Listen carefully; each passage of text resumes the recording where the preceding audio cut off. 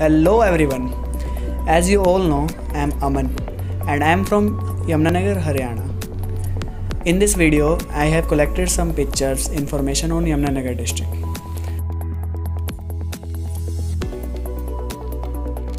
So let's start with the name of the district.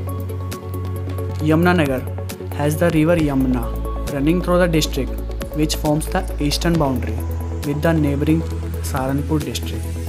This boundary also the state boundary.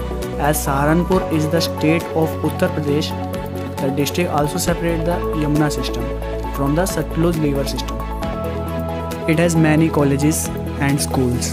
And for entertainment purpose, there are so many parks and an amusement park also.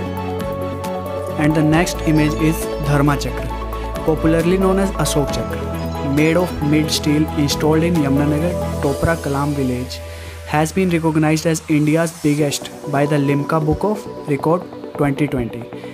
The chakra has the diameter of 30 feet, 24 spokes, and a weight around 6 tons.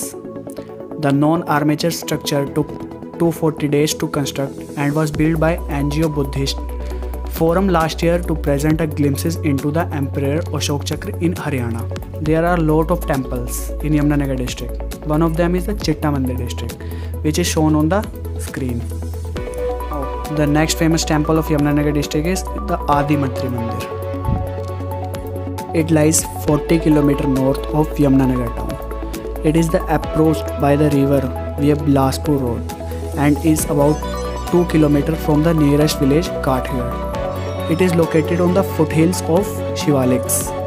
It is a picturesque location abundant with the natural beauty and tranquility.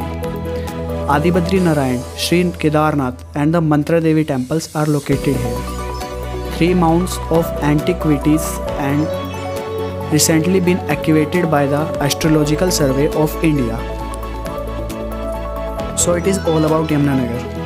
Hope you all like this video. Thanks for watching my video.